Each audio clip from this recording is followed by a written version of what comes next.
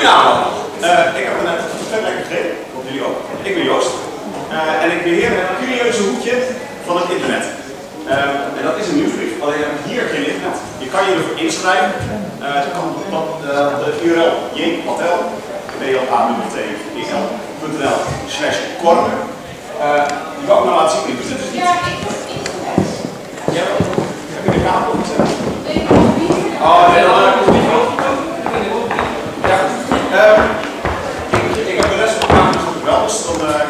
Wat ik eigenlijk doe, met het curieuze van het internet, is dat ik elke maand linkjes verzamel waarvan ik dan denk, die zijn goed. Dat kan dan de reden zijn dat ik een ontzettende nerd ben en iets heel tofs vind, tot dat ik denk, nou, als ik later kinderen krijg, dan wil ik dit in mijn huis. Um, en de eerste is daar eentje van. Zie je iets verder? Oké, okay, dat, dat, doe nog even. Ja. Dat is toch Als je een glijbaan over je trap heen dan doen zodat kinderen met de glijbaan van de trap heen. Super. Uh, dus die hebben ze uh, met behulp van crowdfunding in elkaar gezet en die kunnen mensen gewoon uh, kopen. Dus nou ja, als ik later kinderen krijgen, dan is dat zo'n ding die ik wel zou willen hebben. Daar word ik er gewoon lol van. Ehm, eentje terug, we gewoon altijd terug. Ja, nog eentje. Ja, ik heb het vanochtend ook al heel even aangevonden. En normaal, normaliter staat de tv ook aan. Maar jullie heeft hier al iets op ingediend? Ja, 1, 2, 3. Mensen die het nog niet hebben geprobeerd. Ik ga dus duidelijk eerst staan. Staan aan tv. Uh, rechtsachter. En uh, dat is eigenlijk de Permanent Beta database. Dat is een database van alle mensen die bij het Permanent Beta netwerk zijn aangesloten. Waarschijnlijk ook jullie. En ik dacht, dat is super cool. Uh, maar daar kan nog veel meer mee met zo'n netwerk of mensen zoals ons. Dus ik heb al die data ontsloten en je kan dan bijvoorbeeld intypen joh, ik wil iets met fotografie gaan doen. Typ je fotografie in en vervolgens krijg je dus iedereen die iets met fotografie doet binnen het Permanent Batnet. Dan kan je zien hoe je dus kan vinden op Twitter, hoe je kan vinden op Facebook en, en al dat soort dingen. En binnenkort kan je ze misschien ook een mail sturen. Geen probleem. Dit werkt nu nog alleen mijn. Ik ga het zo maken dat jullie inderdaad gewoon met jullie Meetup-account kunnen inloggen en vervolgens naar de website van Permanent Bat kunnen gaan en daar kunnen zoeken waar jullie dan ook interesse hebben. Vet? Vet. Cool. Ik heb niks gebruikt. Wat zijn? Ik heb niks. Nou ja, kijk, het enige wat ik doe is eigenlijk alle publieke informatie die je op Meetup zet, alleen gebruiken. Dat is niet meer dan publieke informatie. Dus ik doe geen privacy. Um, twee verder dan. Oké, okay. uh, dit is iets heel leuks. Maar, um, Sister, wie kent If This Then That? If This Then That. IFTTT. Dat is een hele. Daar kan je op inloggen en dan kan je Facebook aankoppelen, daar kan je je mail aankoppelen, daar kan je een broodrooster aankoppelen. Dat je, uh, overal hebben ze wel iets voor. En wat die eigenlijk doet, die zorgt ervoor dat je alles aan elkaar kan verbinden. En je kan dat tooltje ook gebruiken in combinatie met een ander tooltje, dat heet Day One. En Day One is een soort van logboek, dagboek bijhouden. Nou, als je die twee combineert, kan je een automatische dagboek laten genereren. Klinkt heel stom, totdat je bedenkt, ja, ik zou wel eens een keertje willen weten waar ik tot een jaar geleden was, tot op de menu precies. Ik kan het. Hey, ik heb inmiddels zo'n archief waar je doorheen kan laten dat ik op moment echt tot op de menu bijna precies kan zeggen waar ik waarschijnlijk aan het werk was en zelfs wat ik aan het was. Of alleen fijn dat ik kinderen had getwitterd, et cetera, et. Het staat allemaal hierin. Super. Uh, en het feit is dat al die data dan ook bij jou op je eigen computer staat. Ja, die vraag. En heeft jouw vriendin Chantal toegang tot? Als het maar heeft op mijn computer dan. Uh, nee, dat, uh, ja. ja. Maar je kan zelf zeg maar beslissen wat voor bronnen je erin wil sluiten. dus stel maar dat je iets geheim hebt te houden, dan kan je het niet of niet. Nee. Het is gewoon heel betrouwbaar zijn of een open relatie hebben. Ja. Dus, um, vet mooi hoedje voor de nerds. Volgende.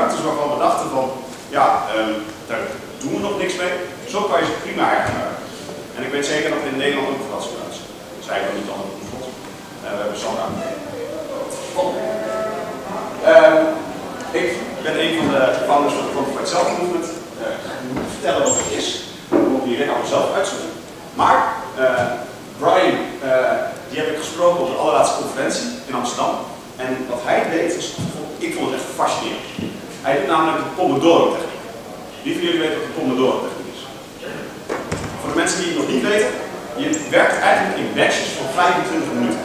Dus je zegt, ik ga 25 minuten aan de slag met deze taak. Vervolgens neem je 5 minuten pauze.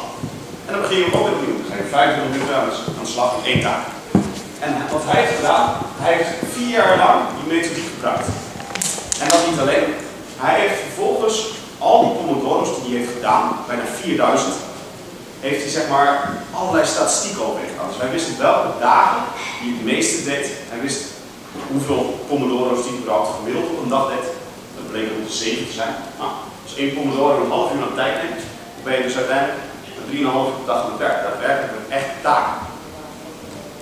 En ik vond het gewoon super cool. Uh, als je nog meer wil weten, in zijn video staat echt een shitload aan grafieken, maar ik vond het fascinerend hoeveel hij eigenlijk wist over zijn eigen werkpatroon.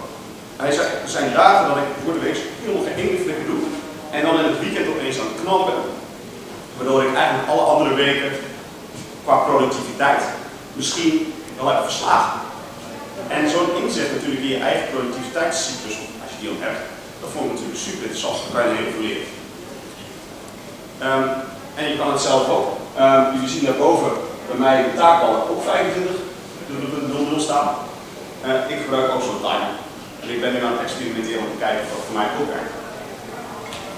Volgende. Uh, ja. Uh, deze zag ik voorbij komen en ik vond hem heel vet. Dit zijn oordopjes. Al die oordopjes die waarmee je muziek luistert. Alleen als je hier iets heel slims bedacht. Die touwtjes die daar altijd in de knoop. Fucking vervelend.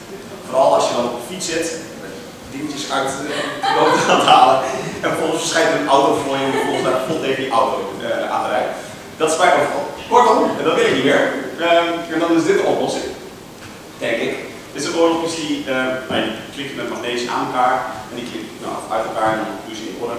En als je dan uitgeluisterd bent, dan klikken ze weer aan elkaar en dan schuiven ze zeg maar in een soort van monster die aan je uh, nou ja, sleutels vasthangt. En is, daar zit ook nog een klein batterijtje. Dus als je het inschuift, dan begint ze ook direct met opladen. Super chill. Toch? Ja.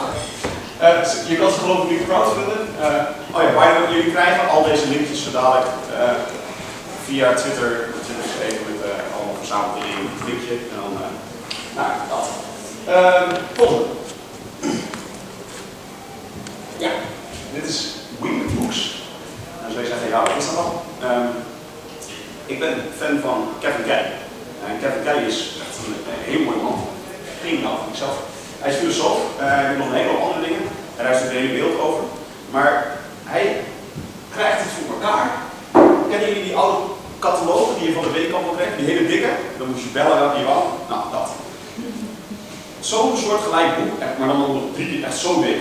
Zeg maar, zo groot, flink ding. Dat je echt vast moet houden. Dat krijgt hij gepubliceerd. Met wat staat erin? Eigenlijk alleen maar gereedschap en handige dingen. In 2004. Wie wilde nou zo'n catalogus? Ik ook. Super vet om zo'n boek vast te houden waar ook nog echt heel veel coole dingen in staan. Nou, en dan dacht hij, daar moet ik iets mee. Uh, vervolgens heeft hij dus uh, Wikibooks opgericht. En dat is eigenlijk een catalogus. Oh, nee, eigenlijk een lijst van boeken waarvan hij denkt, dit zijn typisch boeken, die moet je gewoon in boekvorm krijgen. Want als je die niet in boekvorm krijgt, dan ervaar je het gewoon niet hoe het is om dat vast te houden. En jij hebt ook zo'n. Nee, ja, ik wou vragen of jij, of jij hem persoonlijk kent. Uh, nou, niet heel goed. Ik heb al een paar keer met hem gesproken.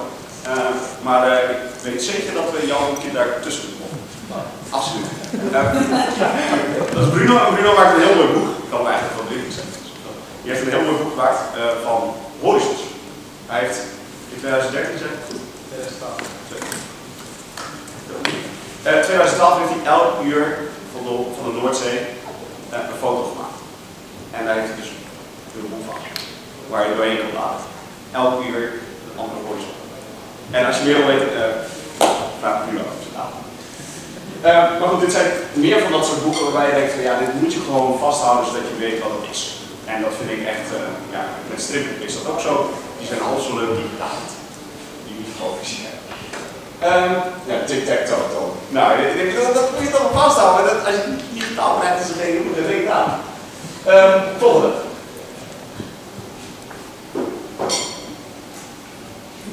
Jullie hebben zoals ik hier uh, drones. En ehm, dit ziet er echt belachelijk uit. Maar uh, er zit hier een voordeel aan. Ehm, sommige drones die vliegen met hittecamera's rond om te kijken waar mensen lopen. Uh, dat is vooral handig als je in het donker bent, of als een crimineel in het donker ontsnapt. Dan kan je op basis van zijn hitte patroon alsnog gewoon maar, zien waar die loopt. Ook al is het op. Uh, er zijn dan wel allemaal mensen die hebben daar weer slimme dingen op bedacht. Dus voor je weet zie je dieven rondrennen in dit. Uh, maar vervolgens ziet het er zo uit. En dat is natuurlijk geniaal. Want normaliter zou je dus heel makkelijk mensen, of silhouetten van mensen kunnen herkennen. Bijvoorbeeld zelfs achter een muur lukt dat.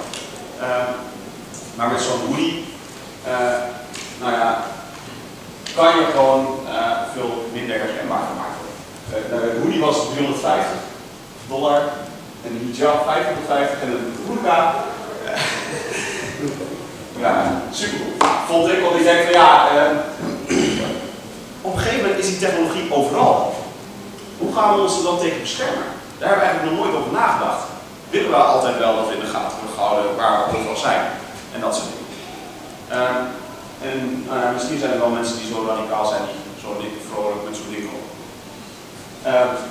ja, ik vond het wel een goede gedachte dat dit soort dingen ook zijn, zodat je in ieder geval tegen kan wapen als je dat wil. Volgende. Ja, dat is pannenkoek. ik kan wel een pannenkoek. en ik heb toevallig ook een rijstkoker. Ik heb het nog niet uitgeprobeerd, maar het lijkt me super vet dat je denkt, ik ga nu een stapel pannenkoeken maken. Hup, als die rijstkoker aan, als in die rijstkoker alle wiet aanzetten. En voor je het weet. Het is een mooi pannenkoek niet? Ja, ik ga ieder geval, en als je, mooi, als je verder scrolt, volgens mij gaan ze ook hier zeggen, ja, ik wil een beetje alles. Nou, de laatste plaats zit Oh. Je kan er van alles nog in als je hebt een pannenkoek met chocola, een pannenkoek met vruchten, prima guest, gooi erin en uh, probeer het uit. Dat is vet. Dat is wel een keer een pannenkoek. Je hebt wel een andere manier nodig om te snijden. Is, uh... Ja, wat ik uh, voorstel is om een heel groot broodmes te pakken en zo, in zo dun mogelijke laagjes zo door te snijden. En dan jam ertussen. En jam, vla, jam, vla, jam, vla. Dat is lekker. Geen kunnen gaan, nee, jam en vla. Dat is echt, echt heel lekker. Ik kan het echt aanraden. Je kan er een ballon in stoppen. Je kan een ballon in stoppen. Dan blijft er gewoon een boterham. Dan kan je nou alles shit gewoon indrukken. ja, dat gaan we doen. Oké, okay, dat gaan we doen. Volgende. Oké. Okay. Um, ga ik even laten zien, want ik snap niet beter. Ik heb, uh, als het goed is, gebruiken jullie allemaal uh, een computer met een desktop. Die voor mij ziet er zo uit. Nevermind de tekst. Maar hier zo staan allemaal, uh, allemaal nerdachtige dingetjes. Hè, van, nou, Calendar is niet heel nerd, maar dit, soort dingen hieronder wel. Um, dat vind ik handig om dat in één oogopslag te zien. En dit is allemaal heel ingewikkeld om dit in te stellen. Gelukkig hebben ze dat makkelijker gemaakt. Met, en het is alleen nog voor de Mac, helaas. Uh, het heet Uberzicht. Uh, als een soort overzicht. Maar dan in het half Duits. Uh, misschien ook nog weten. Maar, dus, wat kan je hier doen? Je kan zeg maar je eigen widgets, zoals ze het noemen, kan je maken. Dus als je een nerd bent, dan kan je een beetje HTML. En uh, dan kan je je eigen widgets schrijven. Oh, als ik daar klik, dan moet dit er verschijnen, dan moet dat uitklappen. Allemaal fancy dingen die je erop wil. Kan je, je kan een beetje programmeren, kan je dat hiermee maken. Dus dat ga ik volgens doen. Eh, ik heb gewoon een cijfertje zowel op mijn desktop. En dan staat bij zoveel abonnees op Curious Corner op internet. Kan ik dat altijd zien. Super cool. Oké. Dat is gewoon HTML? Dat is gewoon HTML. Dus eh, met een beetje skillset kom je daar nog wel uit. En voor de mensen die geen HTML kennen, een beetje, nee, zo fijn natuurlijk. Dus gewoon even googlen van hoe leer ik HTML. Eh volgende. Wie vinger je kent Aaron Swartz? Eén iemand. Een beetje. Helaas is de beste jongen overleden. Ehm, maar eh, hij was voorvechter van eh, het open internet. En hij is vooral, uh, ja, hoe noemt het berucht, zal ik maar zeggen, om eh, het feit dat hij MIT wat neemt. MIT, misschien was het wel ik weet dat het had school in elkaar. Maar hij is daar een keer een school binnen, eh, nou ja, hij zat daar op school en hij dacht, weet je, al het wetenschappelijk onderzoek wat hier op deze universiteit wordt gedaan, dat betalen wij met overheidsgeld. En toch, als wij dan nou ja, een wetenschappelijke publicatie willen downloaden, dan moeten we daarvoor die 30 euro per Dat is heel scheef. Dat iemand daar geld aan verdient, terwijl het wat is gedaan ons geld. Moeten we nog een keer gaan betalen. Dat is eigenlijk niet hoe het zou moeten. En daarnaast, eigenlijk zou bijna alle kennis gewoon openbaar beschikbaar moeten. Dus hij heeft op een gegeven moment iets gemaakt waarbij hij heel langzaam, uh, maar eigenlijk ook redelijk snel, daardoor raakte ik heel verdacht, uh, ergens in een, uh, meterkastje had hij een computer neergezet met een aantal harde schijven. En is hij vervolgens via het netwerk van de school alle artikelen gaan downloaden. Geprobeerd. Op een gegeven moment is het opgehouden, want het afgesloten. Uh, en daar is hij vervolgens voor vervolgd omdat hij, nou ja, allerlei dingen had gedaan die hij mocht. Vervolgens heeft hij zelf gepleegd. Uh, en is hij een soort van, uh, ja, een, hoe dat? Martelaar, uh, geworden voor nou ja, het open internet. en daar, heeft, daar is een documentaire over gemaakt, de Internet's Own Boy. Het heeft ook heel veel met de Occupy-beweging en dat soort dingen te maken. Um, en, maar toch vind ik het, punt waarvoor hij staat super interessant. Uh, want hij heeft uiteindelijk wel gelijk. Ik baal er ook van dat ik elke keer als ik een wetenschappelijke publicatie wil downloaden, dat ik daar verdorie nog een keer 30 euro voor moet betalen. Dat is heel raar. Um, dus ik kan iedereen aanraden om deze uh, ja, ja, documentaire te zien. Uh, voor 7 dollar heb. Het is echt een aanrader.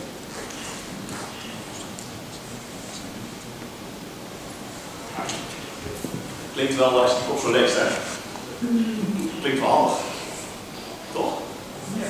Ik ben al helemaal geen schrijver, dus ik zit er serieus over te denken om dit te proberen. Uh, en ik kwam gisteren tegen en toen dacht ik, ja, ja, maar als ik het wil, dan uh, kan ik wel een vakantie overslaan. Ik was al later doorheen en er zat wel een hele behoorlijke leercurve aan. Maar toch, wou ik even met jullie delen. er staat uit twee delen. De eerste is een pen. Uh, dat is een pen die wij kopen.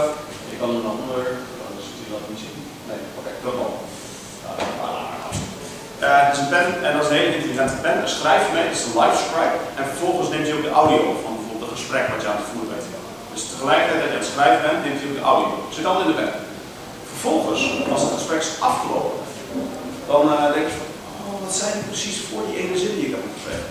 Dan tik je één zin daarboven, tik je aan en vervolgens snapt die pen, oh je wil dat stukje van het gesprek even terugluisteren. Wow, dat is best handig. Maar, ja, je schrijft natuurlijk lang zo rap niet als dat iemand praat. Dus dat is ook uh, tien woorden? Nee, nou dat, dat is een oplossing, maar dan worden je zinnen wel heel erg warrig en dan moet je alsnog elke keer terug uh, bladeren. Dus de oplossing daarvoor is uh, Greg's Shorthand. Jullie is wel een old, nou ja, ik heb eens een keer een oldschool journalist uh, in actie gezien. En die zat dus wat, nou, die had een heel klein, ongeveer een notitieblokje te groot van zijn hand. En die had een pen en dus, oh, en keek eens een keer naartoe. Toen zag ik ongeveer wat daarop leek. Nou, ik snapte er geen reet van. Is dat wat wij ook als stelen onderstrepen? Het lijkt op stelen, ja. Uh, alleen is het niet helemaal hetzelfde.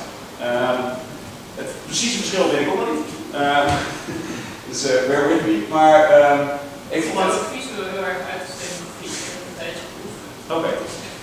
Maar je maar werken. Ik weet lang niet overal alles van. Nee, sommige mensen weten het beter. Dus... Ik verstond het niet. Oh, sorry. Wil je het nog een keer halen?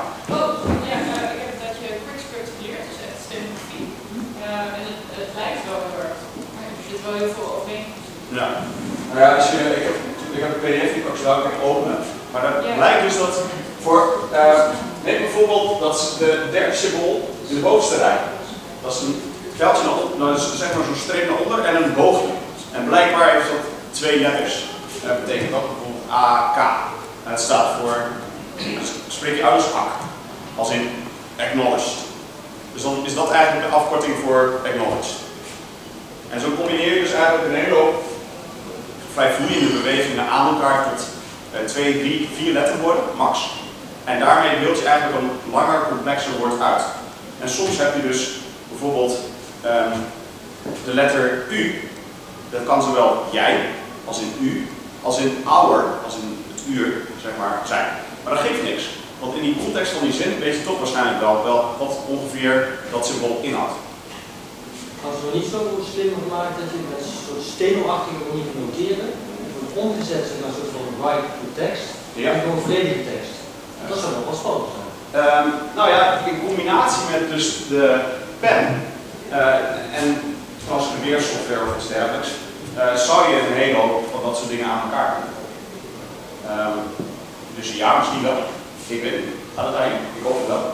En nog, een- hij staat hier niet bij, maar ik kwam onlangs op een heel mooi dingetje tegen. Dat was een, eh, een scanner. Alleen niet de scanner zoals wij hem kennen, waar- je een papiertje onder legt en dan dichtklapt. En dan... Het was gewoon een scanner die kon je gewoon in je hand houden. Die ging je zo als een soort van gum over papier en vervolgens lijmde hij alles aan elkaar. En dan had hij dus in één keer dat hele A4'tje. Super chill, want dan hoef je dus niet meer zo'n hele grove, scanner mee te nemen die nou ja, alleen maar A4'tjes of kleiner doet en niet meer de schilderij. Die eh, kan je vertalen en dan vertaal je. Ja, nou ja, precies. zo en je kan het gelijk verwerken in Word of. Ja, nou ja, als je inderdaad, de, je hebt twee versies. Eentje is met tekstherkenning, de andere is meer eh hogere DPI, dus bijvoorbeeld afbeeldingen. Die kan je moeilijk omzetten naar tekst. maar eh, in- je hebt ook inderdaad versies die dus rechtstreeks ook de omzetting naar tekst. Dat is in het beeld. hè? Ja, in, uit het beeld. Ja. Reality, kijk door je smartphone Hm? ergens naartoe in het buitenland en teksten worden Automatisch vertaald. in beeld aangepast. eh, Voor wie dat wil uitproberen, de app heet WordLens. Dus uh, goeie, dankjewel. Altijd dankjewel. Eh volgende. Eh oh, Nou, eh, ook niet lang staan. Eh gaat goed. Denk ik. Ja, dat weet ik dan, denk ik. Ja. Wie van jullie is wel, nou ja, wie van jullie gebruikt de auto? Als het goed is heb ik bij Outlook ook de eh, ontvangstbevestigingsknop. Gebruiken jullie die wel eens? Dat je zeg maar een mailtje terugkrijgt wanneer iemand anders zijn mailtje heeft geopend. Ik vind het dat ik werk met school en alles, dat is lastig. Dan eh, eens een keer babbelen en dan zeg nou, ik niet gelezen. En dan zeg ik, jawel, ik heb een mailtje geopend. Huh? Hoe weet je dat? Nou, ik gebruik een heel ander programmaatje voor, voor Gmail. Dat heet MailTrack en dat kan je installeren. En dan eh, kan je vervolgens zeggen, verstuur deze mail. En dan verstuurt hij, en wat hij eigenlijk heel sneaky doet, die plakt een heel klein plaatje van 1 bij 1 pixel in het. Die plakt hij zeg maar onder je e-mail. En met dat ene kleine afbeeldje kan hij kijken of iemand jouw mailtje heeft geopend. Super handig als ik bijvoorbeeld een eh, offerte naar iemand heb gestuurd. En dan eh, op een gegeven moment vijf minuten later zie je van, eh joh, Jantje heeft je offerte geopend. Dan denk ik, mooi, die zit er bovenop. Hoef niet nog achterna te bellen na en zo, dat soort dingen zijn natuurlijk super handig voor mij om een beetje bij te houden. Dus dat is, nou ja, handige dingetjes die ik graag gebruik. En Jan krijgt er niet de melding van wil je een lesbevestiging? Nee. Want dat is dus dat waar je Ja. aankomt. Ik haat dat. Dit gaat gewoon volledig automatisch kan ik niks zeggen. Dat is toch, maar ik moet van opdrachtgever, zie ik dus inderdaad. Volgende. Eh, wacht even. Volgende, volgende. Als je een auto opent, Oh! en je boodschap, daar kun je zo meteen dan Nee, doe maar niet. Eh, ja, je kan op sluiten drukken, dat verstuurt hij niet, maar dat is stom. Want dan heb je er zelf als verzender niks aan. Dan werkt hij als nou. ontvanger, eh, want het is externe downloads. Ja. En audio bevestigen in je toestaan niet. Ja, eh, dat is niet helemaal waar. Want stiekem downloadt hij hem toch. Alleen laat hij niet zien. Dus je kan het alsnog in de gaten houden. Ehm, voor de mensen die eh, zeggen van nou, ik wil dat niet. Ik wil niet dat mensen dat bij mij kunnen doen. Dan moet je registreren. ja, Ja, maar ja, dat is één iemand die denkt, oh, goed idee. Dan zegt de ander, ja, weet ik niet. Dan ga ik wel iets maken wat dat tegenhelpt. En heb jij dit? Dit heb ik ook. ja, nou, het is toch heel handig als je het zelf kan gebruiken, maar andere mensen het niet bij jou willen. Tada! Twee, vier in één dag. Nee, dus dat vond ik hartstikke handig. Ehm, ja, er zijn nog wel meer van dat soort dingen. Ik denk, ja, eh, wie van jullie gebruikt een adblocker? Ik denk heel veel van jullie. Voor de mensen die nog niet weten wat het is, eh, Google even op adblock plus, AD en dan blok in het Engels. B-L-O-C-K, dan plus symbool. Ehm, daarmee kan je namelijk hele vervelende ads die zeg maar op het internet verschijnen blokkeren. En oh god, wat is het internet mooi daarna. Echt hoor. Ga je dan eens naar nu.nl en dan krijg je zo'n banner en dan komt er zo'n auto voorbij racen en dan denk je, zo'n goed man, ik wil helemaal geen auto. Nou, dat heb je dan niet meer. Super chill. Stukje ruim als je een andere browser gebruikt. Hè? Ja, hè? Dus ik, tenminste, ik schrok wel eens, ik heb dan Firefox gebruikt het ook. Ja. Dus voor een bepaalde reden op een safari gaat het Ja. en denk ik van, Ja, er zijn nog andere oplossingen, maar dan word ik heel erg nerd. Eh, je kan ergens een besluit op je PC of op je Mac aanpassen en dan heb je sowieso nergens überhaupt meer reclames. Eh, maar dat is een ander lang verhaal, dat ik. Dat is een makkelijke oplossing. Op Twitter. Wat je? Ja, Hier op Twitter. Ja, die wil ik ook nog wat zitten. Dan uh, gooi ik niet erbij. Oké, zo dadelijk met de links. Je hebt op YouTube heb je ook eh, wel? En ook haalt die ook chill is dat? Kan je gewoon YouTube, ik wil nu kijken. En dan kijk zo. Heerlijk. Oké, volgende. Dankjewel. Ehm, aan Ik, ehm, ja, ik weet niet, ik weet niet waarom ik dit wil, eh, maar het lijkt mij gewoon vet als ik keer geld voor heb een ruimte. Maar ik zou het heerlijk vinden om een klein huis te. Gewoon om te hebben. En eh, je kan nou gewoon je eigen, het is een, een Nederlands, eh, Nederlands architectuurbureau, dat eh, ja, we moeten een toeltje maken. En dan moeten mensen, zeg maar, je kan zelf, je hier vier verschillende modellen. En je moeten zelf mensen huizen laten maken. Hoe doen we dat dan? Nou, we geven ze gewoon een, een app, in dit geval een webapp. En dan kan je wat aantal dingetjes schuiven, dan wordt de hoek wordt groter of kleiner, er komen meer modules achterig bij. En dan druk je op een gegeven moment op print. En dan komt er niet alleen een 3D-print een huiswoning, de, de huisrollen, dat kan ook. Maar hier in dit geval krijg je gewoon alle bouwplannen in PDF. Gewoon, joh, oh je wilt dit huis zo en zo in deze hoek en zoveel dingetjes en dit glas en dit niet. Nou, dat kan. Klaar. En eindelijk ben ik bezig met de circulaire economie. Ja. Er is ook eentje bezig met een soort Lego-stenen, grote bouwblokken. Dan kun je gewoon je eigen Lego-blokken, stenen huis bouwen. Vet. En dan, ja, als je nog eens van circulaire materialen gebruikt, dan is het nog duurzaam. Dus Ja. Nee, dat, dat suggereren zij ook hoor. Van eh, neem inderdaad hout, wat inderdaad makkelijker of al hergebruikt is. Ehm zijn vrienden van mij die doen stukken zoals dit. En in plaats van dat ze één module bouwen van inderdaad losse planken, eh, doen ze dat voor oude deuren. Niet zomaar oude deuren, die doen het voor deuren die over zijn van de bouw. Want het gebeurt heel vaak, en dat is heel stom eigenlijk, dat ze een, eh, dan hebben ze een architectuurbureau die zegt, joh, we bouwen hier een gebouw, komt een deur in, oeps, verkeerde deuren, verkeerde maat. Deur over. En dat gebeurt echt heel regelmatig, omdat mensen denken van ja, er moet even een balletje tussen en dan, weet je wel, een paar millimeter geeft niks. Maar voor een deur wel, dan heb je opeens een deur open. Stom. Dus zij doen dit soort stukken, maar dan met deuren, die open zijn van de bouw. Dat ik super mooi. Ehm, maar goed, ze hebben echt allerlei ontwerpen en dat soort dingen. Dat vond ik heel cool. Volgende. Ja. Eh, dit is een beetje eh, speculatief. En, ehm, maar toch vond ik hem, eh, ja, ik vond het een heel interessant idee. Dat gaat namelijk over de Losada-ratio. Nou weet ik niet of ik het goed zeg. Maar het gaat er ongeveer zo over dat elk individu, of een team dat samenwerkt, of een individu dat überhaupt gewoon werkt, functioneert, dat functioneert het meest ideale in een positiviteits- tot negativiteitsratio. En dat noemen we de Losada-line. En die ratio ligt ongeveer tussen 3 tot 1 tot 11 tot 1. Dus als je drie positieve dingen meemaakt en één negatief ding, zeg maar, eh, tot daarboven, van 11 positieve dingen tot één negatief. Alles daartussen, maar dan werk je het meest optimaal, dan voel je je goed en dan heb je het idee dat je beide, nou ja, dat, het gewoon goed gaat, met het team ook, et et cetera. Ga je daaronder of daarboven zitten, dan kan het zomaar zijn dat de dynamiek van een team verandert. Eh, en hier is een hoop onderzoek naar geweest. En de ene zegt van ja, er klopt helemaal geen rug van al wiskunde die je hebt uitgevoerd. Dat, dat klopt van geen kant. En de ander zegt van ja, we hebben het zelf geprobeerd te, te meten. Dat vind ik ook speculatief. Want je meet iets heel erg kwalitatiefs, namelijk positiviteit en negativiteit. Ehm, maar toch eh, vond ik het een interessant idee en probeer ik nou een manier te vinden om dit ook bij, bij bepaalde dingen te gebruiken. Dus je zou het bijvoorbeeld ook kunnen gebruiken bij een manier van terugkomen. Dus dat je bijvoorbeeld ongeveer vijf positieve dingen moet noemen en dat je dan één negatief ding kan noemen. Super interessant om te gaan kijken hoe mensen daarop reageren. Ehm, wie weet, eh, nou ja, kunnen jullie er ook op mee. Ik probeer het uh, in concepten te zetten. Volgende. Uh, dit is goed. Um, brei, wie kan het? Ik kan ook uh, maar er zijn ook mensen die hebben breimachines en dat is wel heel erg luid. Um, maar het wordt nog luider als je ze gaat automatiseren.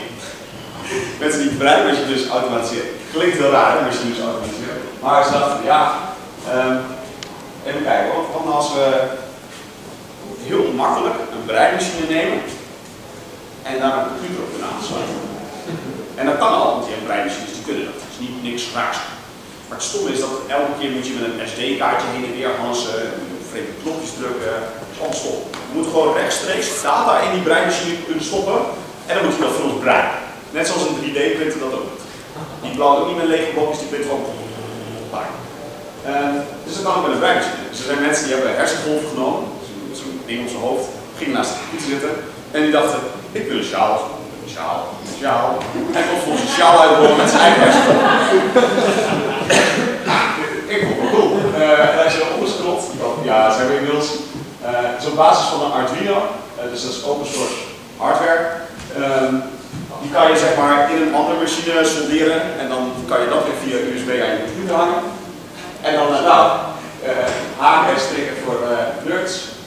ja, neurolithic, dus dat is inderdaad het stuk wat ik zei, met zijn hersengolf ging dus en nou, die besturen.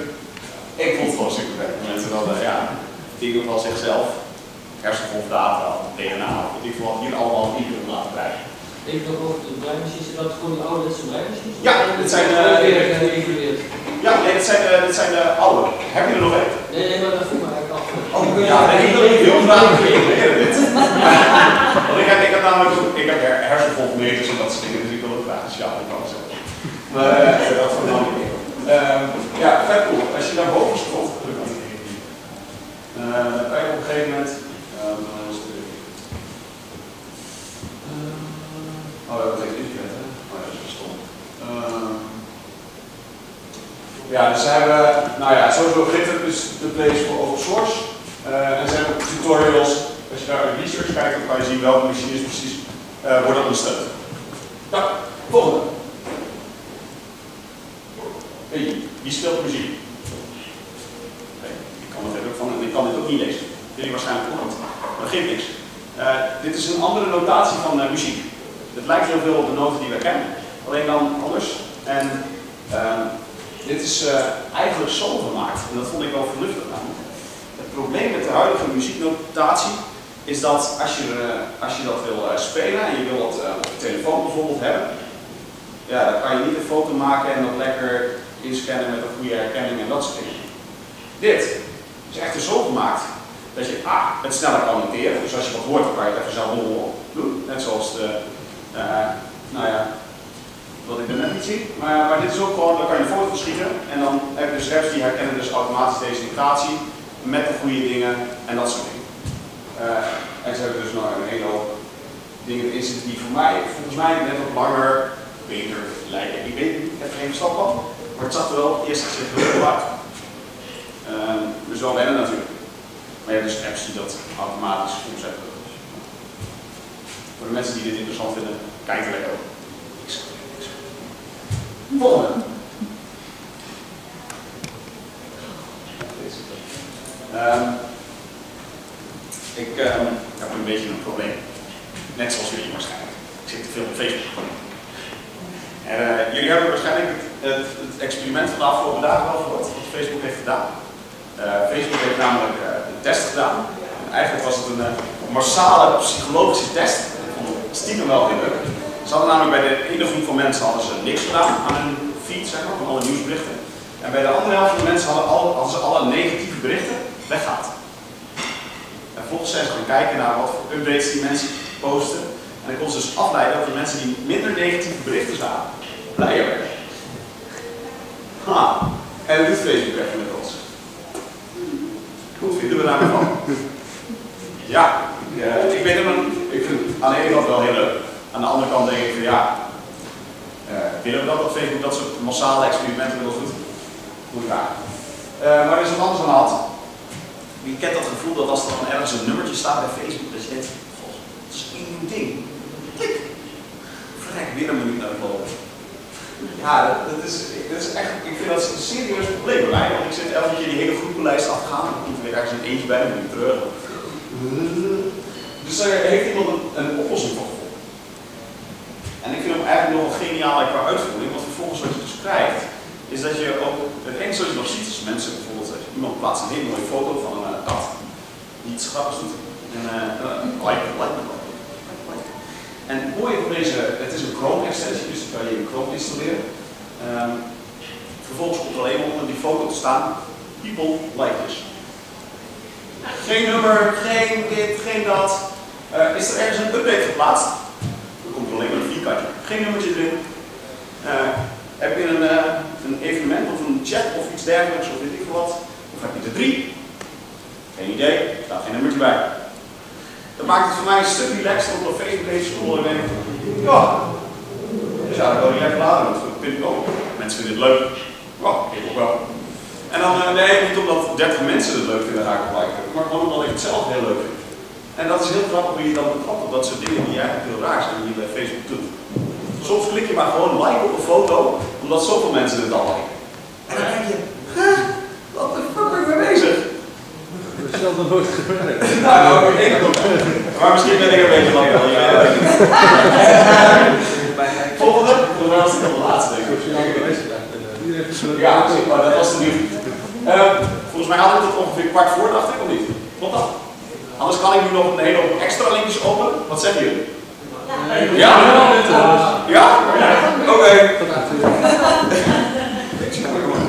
um, even kijken. Oké, okay, wat is het? Uh, deze nou, we hebben natuurlijk geen internet, hè? Oh, dan ga ik er gewoon even doorheen maken. Uh, Oké. Okay. Oh, dit was een um, X Sense heet het. Uh, wat jullie zien is mijn Evernote, er staan allemaal notities in. Maar eigenlijk hoeven jullie alleen maar deze lijst te zien op watermachine. Um, dit is een prototype van iemand, dat heb ik via de Bar ergens in Barcelona was een music hack day zoals ze dat noemen. Dat is van Spotify. En uh, wat ze eigenlijk doen, is laten mensen gewoon plooien met alles wat ze hebben daar. Technologie, met, Spotify zelf, uh, noem maar op. En was een vriend van mij, Jelle, en um, die had iemand gecharterd vanuit Berlijn. En die had een sensor gemaakt en eigenlijk was dat een microfoontje. En die kon je op je arm pakken. En uh, wat ik eigenlijk meten was dat hij uh, hoeveel spierspanning je eigenlijk had. Met een hele microfoon, een hele, ja, hele goede microfoon luistert die eigenlijk naar hoeveel jij je spier aanspant. Ook heel raar, maar dat blijkt dus echt werken. Um, en um, vervolgens kon hij dus door zo te doen, zeg maar, uh, een beat bepaald. En dat is super vet. Nou ja, als je leuk feest. Um, maar moet je nagaan als je dus dat in een hele club gaat doen. Want zo'n microfoontje blijkt dus echt damn cheap te zijn. Um, en ik heb toevallig met mijn tweede broer ook een ander spel gedaan. Ik ben eventjes de naam kwijt. Gooi hem zo dadelijk wel in de lijst. Dat was in Amsterdam, had iemand een uh, spel gemaakt, ook op basis van, van elektro spierelektrodes. Dat waren stickers, dus die moest je opplakken. Er waren er drie. Um, en vervolgens had je uh, bovenaan een balk en je had onderaan een balk. En je kreeg hier een sticker en je kreeg hier een sticker. Maar ook drie dat is eigenlijk. En als, je, als ik mijn rechterarm aanspande, dan ging het bolletje boven, in de bovenste lichaam, ging naar rechts. Spande ik mijn linkerarm aan, dan ging het balletje in de onderste balk naar links. Mijn tweelingbroer die had precies andersom, dus die stond zo. En spande die zijn rechterarm aan, dan ging het onderste bolletje naar rechts. En linkerarm, bovenste bolletje naar links. Vervolgens moest je dus ook balletjes door allemaal poortjes in laten. Uh, maar dat moest je dus samen doen. Want wat je dus krijgt is, ja, ja, ik ga zo staan. En nu denk ik, oké, het bovenste balletje, dat moet naar rechts. Nou, heel sterk nu. En Kees denkt, ja, maar het onderste balletje, dat moet ook naar rechts. Dus die begint ook met zijn rechterarm aan te spannen, maar het is eigenlijk zijn linker. Of, of iets dergelijks. Maar in ieder geval, op een gegeven moment begin je elkaar tegen te werken. Omdat je de verkeerde dingen- balletje doorheen, nou ja. Dus zodra je op een gegeven moment heel raar te doen, omdat je natuurlijk dat balletje in het gaatje wil. Ja, het is super leuk. Zo. Af en toe staat hij eh, bij het AI-festival, of het AI-gebouw in eh, Amsterdam en nog andere dingetjes. Moet maar even kijken, maar ik kan iedereen dat spel aanraden. Het is- Je moet met z'n tweeën spelen, het is heel leuk. Ehm, Als je het niet ziet, dan is dat weer een probleem. wat zijn Als je het niet ziet, probleem. Ja, dat valt vies tegen. Want je denkt heel snel dat, eh, niet uit welk balletje je ziet, als hij naar rechts moet, dan eh, moet je hem aanspannen. Dus op een gegeven moment denk je van oké, ik moet het onderste balletje naar rechts doen. Dan ga ik de rechterkant aan, maar dan ben je het bovenste balletje. En dan wat je eigenlijk aan het doen bent, is het andere balletje. Nou ja, super. Eh, het is moeilijk uit te leggen natuurlijk zo. Eh, dat is misschien ook nog wel een leuke.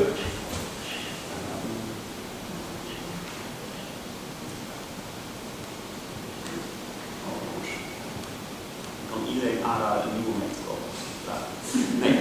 Ehm ja, alweer geen plaatje, dat is wel een beetje jammer. Ehm hoe ga ik dit het beste van Nederland? Ga toch proberen. Ehm ik had er net uitgelegd wat if this then that was. Klopt dat? Weten jullie nog? Allemaal dingen handig aan elkaar lijnen. Ehm, dit is eigenlijk nog zo een. Eh, je moet hier nog meer nerd voor zijn. Ehm, maar wat je hier vervolgens mee kan bouwen is echt super goed. Vind ik. Maar ik ben dan nog ben ik. Ehm, wat je kan doen is, je kan bijvoorbeeld zeggen, ehm, ik wil elke ochtend een e-mailtje als het gaat regenen. Handig, dan weet ik wel dat ik een paraplu mee moet nemen. Ik wil elke ochtend een e-mailtje en een lijst met favoriete eh, nummers die iedereen aan deze Spotify-lijst heeft. Kan ook. Ik wil elke ochtend een e-mailtje met die favoriete Spotify-nummers en alle nieuwe Twitterberichten van mijn broer, maar alleen als het sneeuwt. Kan ook. Eigenlijk kan je allemaal handige dingen hier aan elkaar lijnen, zodat je uiteindelijk fascinerende dingen kan doen. Ik wil een eh, Twitterberichtje naar mezelf sturen als ik eh, nou ja, een spelfout heb gemaakt die echt te belachen was. Ik, whatever. Eh, je moet het gewoon proberen.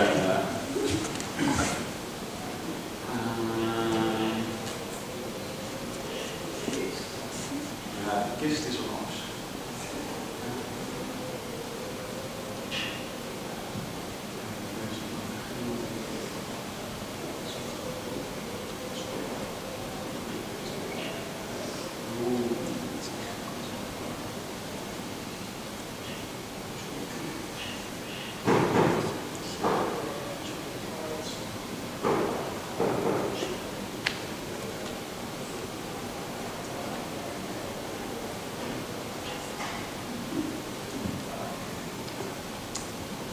Een heel vet boek aanraden trouwens. Ik heb hem. Eh, voor de mensen die van plaatjes houden in een boek, dan moet je deze kopen. Eh, het is een boek van Umberto Eco. Het is een hele bekende schrijver. Ehm, en hij heeft een boek geschreven, dus geïllustreerd. Echt op elke nieuwe bladzijde al een plaatje. Eh, en het boek gaat puur specifiek over eh, verzonnen landen. Dus hij heeft illustraties van verzonnen landen. Dus het zijn ook alleen maar tekeningen en schilderijen van, van mythische dingen. Bijvoorbeeld Atlantis, elk ander ding. En bij elk stukje heeft, bijvoorbeeld Babel, en bij elk stukje heeft hij een soort van korte intro gedaan, hoe dat komt en welke volken ermee gestart zijn en hoe het nu is. En het grappigste was dat ik door het boek aan het heen bladeren was en op een gegeven moment bij de bladzijde terecht. En ehm er stond een plaatje. Er stond geen tekst bij, nergens geen tot vijf bladzijden terug, tot vijf bladzijden daarna stond niet uitgelegd wat plaatje nou precies was. Maar ik herkende het plaatje. En ehm, ik vond het fascinerend dat hij dat plaatje erin had. Want het boek, eh, hij zat, uh, Umberto Eco is Italiaans. Eh, dat plaatje kwam uit een ander boek. Eh, en dat andere boek is ook van een Italiaan. En ik heb ook de digitale versie, ik moet zo dadelijk even die vraag krijgen. Hij is namelijk ook gewoon, er komt een herdruk, maar het kost sowieso 500 euro het stuk. Behalve geld voor een boek. Ik zou het erover hebben, want het is namelijk een boek En dat is een codex, een codex serifinianus. Die van jullie het. Ja, lekker.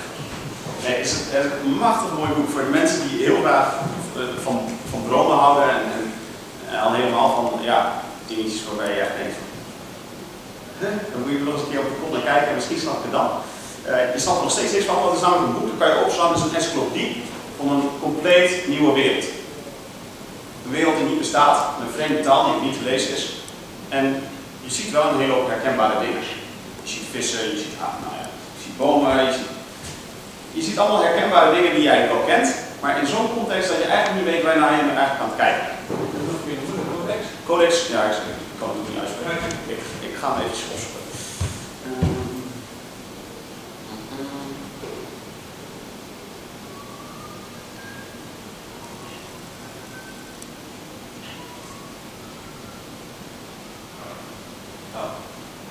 Oké? Nee. Ja, het begint al vooraan, dat je denkt, oké.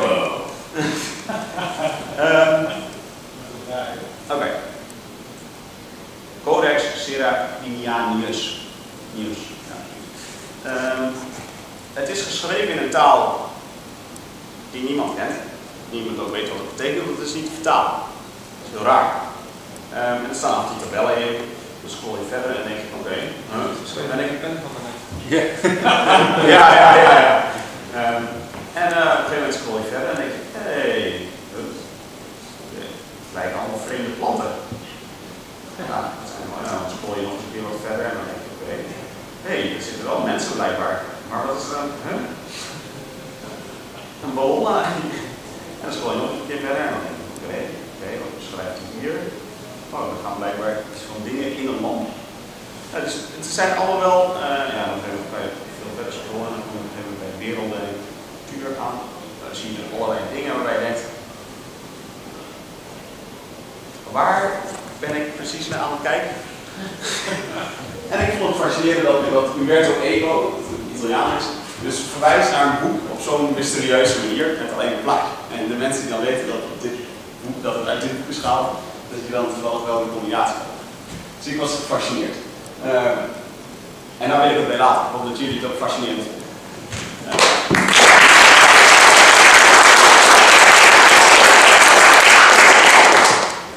Bier. Ja, lekker. Uh, ik zal zo dadelijk even alle linkjes uh, via Twitter delen met de hashtag uh, dag nummer 4. Dan zie je ze daar. En niet vergeten te abonneren mijn YouTube. en dan ik. Ja, Codex, als je wil.